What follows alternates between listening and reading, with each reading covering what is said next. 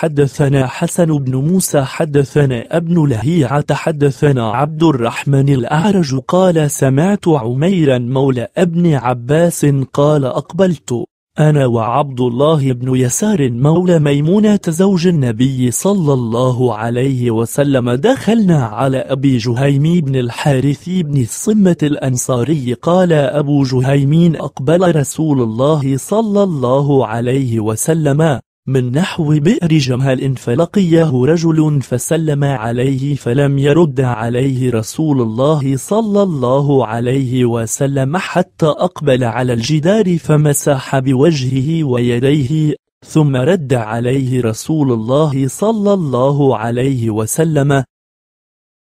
حدثنا أبو سلمة الخزاعي حدثنا سليمان بن بلال حدثني يزيد بن خصيفة أخبرني بصر بن سعيد قال حدثني أبو جهيمين أن رجلين اختلفا في آية من القرآن فقال هذا تلقيتها من رسول الله صلى الله عليه وسلم وقال الآخر تلقيتها من رسول الله صلى الله عليه وسلم فسأل النبي صلى الله عليه وسلم فقال القرآن يقرأ على سبعة أحرف فلا يمار في القرآن فإن مراء في القرآن كفر.